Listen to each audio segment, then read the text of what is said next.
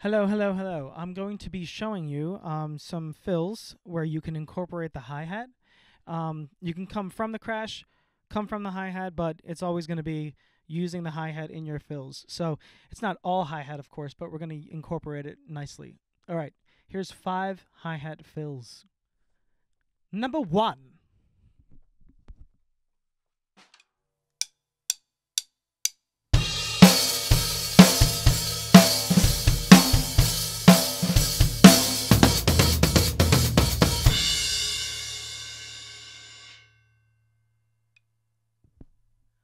Number two.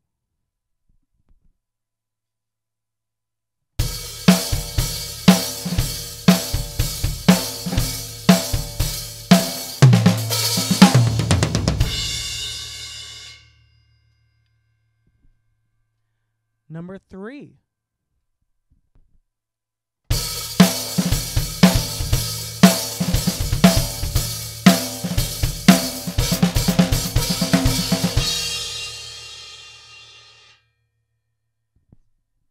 Number four.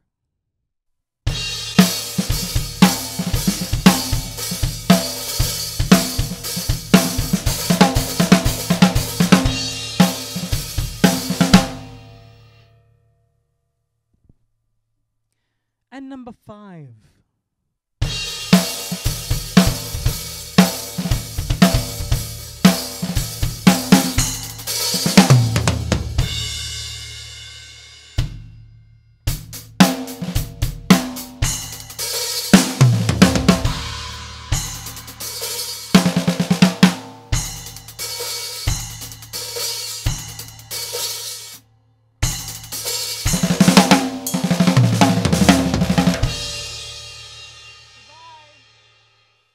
Thank you so much for joining us.